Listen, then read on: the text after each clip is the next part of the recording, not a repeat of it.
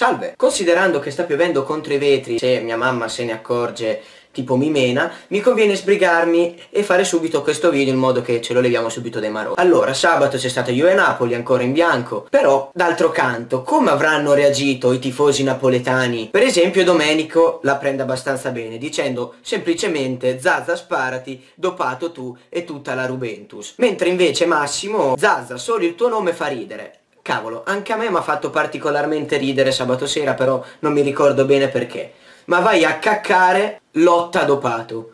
Nonostante non abbia scritto in dialetto napoletano incomprensibile uguale, però va bene. Mentre invece Rosario è andato a fare un corso con Nostradamus e ha detto Se Bonucci non avesse sfiorato quel pallone togliendolo dalla testa del Pipita si sarebbe visto un finale diverso dalla deviazione che ha spiazzato Reina. Tacete ridicoli.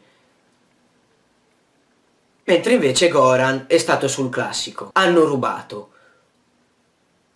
Va bene. Qui invece il discorso si fa un pochino più, diciamo, complesso, no? È stato fatto un discorso un pochino più articolato. È venuta fuori una cazzata lo stesso, però il discorso è stato comunque articolato. E il discorso precisamente lo fa Giovanni, che dice 3 minuti di recupero sono ridicoli. Zaza non avrebbe dovuto giocare, Allan veniva fischiato ad ogni respiro, la ciliegina sulla torta a dire che la Juve meritava di... Zaza non avrebbe dovuto giocare e questa cosa qui è stata detta diverse volte, stranamente dai tifosi napoletani o anti-juventini, però il regolamento dice che l'espulsione diretta per somma di ammonizioni d'uno o più giocatori dal campo sportivo durante una gara darà luogo alla squalifica automatica degli stessi per la partita di campionato successiva. Per la partita di campionato successiva. Che tra l'altro se vi ricordate, o se non vi ricordate ve lo dico io, quando Mertens è stato espulso contro il Sassuolo gli è stata data una giornata, però lì ovviamente andava bene a tutti. Alan veniva fischiato ad ogni respiro, grazie al cazzo è un cane, cioè la ciliegina sulla torta dire che la Juve meritava di. No, meritava di più il Napoli. Non ha fatto un tiro in porta, però meritava di più il Napoli. E per finire, questo post è dedicato a tutti quelli che mi attaccarono qualche settimana fa, quando scrissi che Zaza meritava minimo due giornate per quel fallaccio. Tutti a dire, ma che ti mette paura Zaza? Ma stai pensando a Zaza? Juventus Napoli 1-0. Gol di Zaza. Godo. Quindi, detto ciò, questo qui è stato un video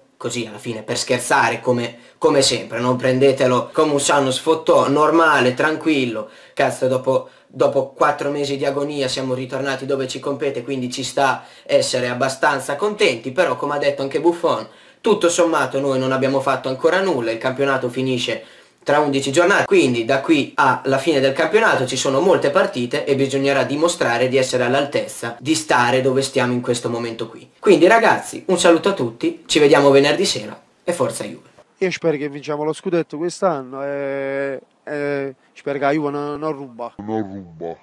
Perché già si è visto con l'Udinese, già si è, si è rubato già una partita con l'Udinese, già sta cominciando. Speriamo che e lo sport è bello a vincere mezzo al campo, no? A, rubare. E lo sport è bello a vincere mezzo al campo, no? A rubare.